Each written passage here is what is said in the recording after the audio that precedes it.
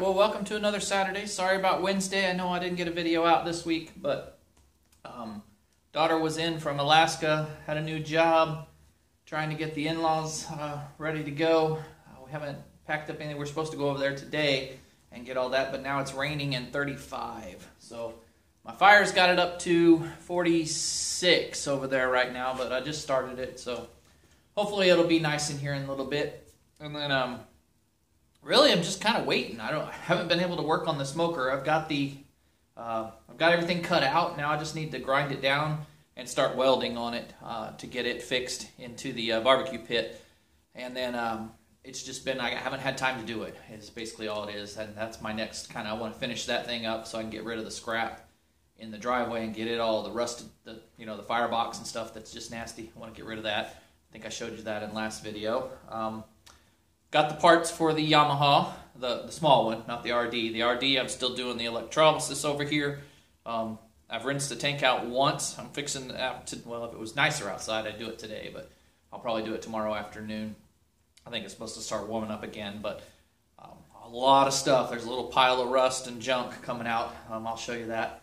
And uh, and then when I rinsed it out, I got a bunch of flakes. Um, that's probably the old dried gas and stuff, maybe not rust, because when I did rinse it out, uh, the other day. Um, Tuesday, I think I did. I just took it over to the hose and just sprayed it out real good, and then put another batch of uh, the the washing soda and stuff in there. When I did that, um, you could actually see silver on the bottom. Um, so it, it's getting a lot of it up, and it may not be as badly rusted as I thought, and it might have just been a lot of the old um, gas settling and drying and stuff like that. So I'm not sure, but can't wait to get that going, especially now the new job's only eight miles away on a road with no traffic. So I'll be able to, uh, this summer, ride it to work pretty much every day. Got the parts, like I said, for that Yamaha over there uh, for the four wheeler. Uh, a little skeptical. It says genuine Yamaha parts, and it was from a. Uh, it wasn't a Yamaha dealer, but I think it was a boat shop or something that I ordered them. I found them online for the, the you know, it was that Partszilla or whatever it is.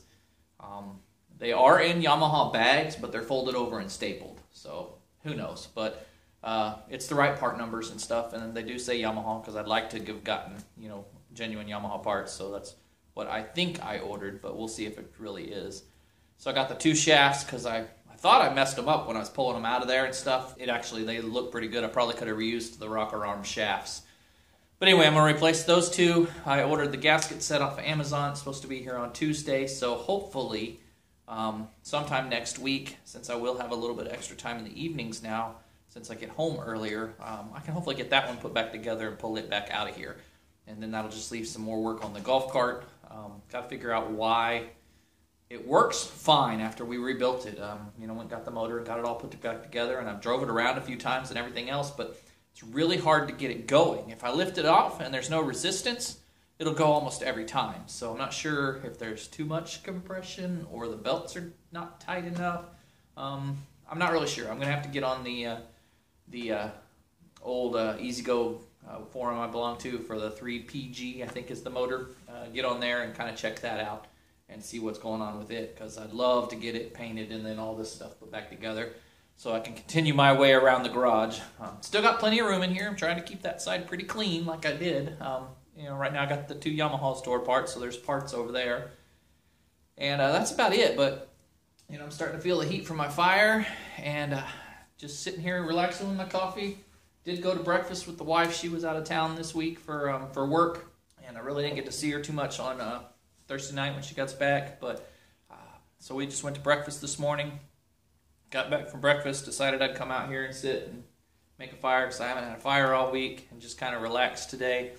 Too cold to do anything. Um, if my parts were, well, I'll probably try to get the um, I'll probably go ahead and try to put the uh, rocker arms and the shafts in there. That way, when the gasket set comes, all I got to do is put it back together and put the bolts down. So I'll probably get that done today, but that's the only thing I'm to work on. The rest of it, I'm just to do some reading and stuff for work. Um, got to learn some new things. So uh, always fun, right? I guess the other thing I need to finally do is uh, start working on that pallet table again. I need to uh, figure out what I'm to do. I think I've designed in my brain. I've been thinking about it for a long time. I got them all glued together one time and and pieced, but then I just couldn't decide because by the time I priced out the four inch uh, angle iron. It doesn't come in anything but a quarter from the place that I get it. And so quarter inch, four inch by four inch angle iron would be heavy for three, six, seven, eight, for 10 feet. I don't know, I could figure that up put that in here, but um, yeah, 10 feet of a quarter inch angle iron plus the legs plus the pallet.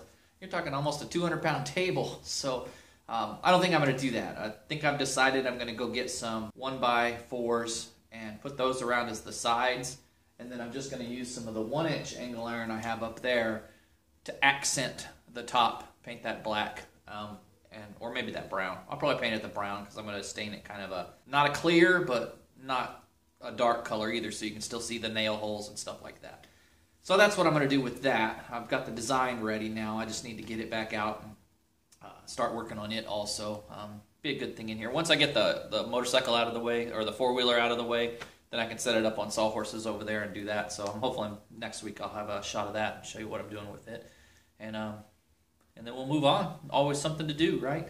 Um, got plenty of projects going, just none of them finished, and I haven't had a lot of time to work on them, so I'm trying to get some of them done. I'd like to get that barbecue pit done so I can get that back over to work, um, my old work. I'm still, you know, before they have their next burger burn, um, I'd like to get that back over there, and I, am hoping they have a blue uh, high heat paint. I'm gonna try to find that because um, it'd be great for Air Force colors, you know, to have it blue, and uh, maybe put their little logo on there or something. So hopefully I get that finished up. Other than that, just uh, enjoy your weekend. If it's cold, get you a fire or a nice little heated blanket and curl up somewhere with a cup of coffee, cup of tea, or whatever you like. And um, as always, we thank you for watching. We'll catch you in the next video.